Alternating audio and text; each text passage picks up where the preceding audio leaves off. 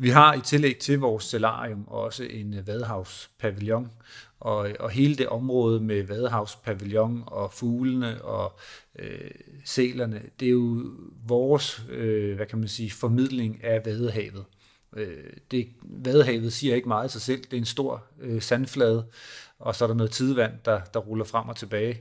Men, øh, men hvis man øh, ved, hvad der sker, og det er det, vi forsøger at, at gøre der, så, så er der rigtig mange oplevelser, meget viden, som egentlig fascinerer om Vadehavet, som vi formidler i hele det område der. Så det er sådan lidt dedikeret til Vadehavet og verdensarven.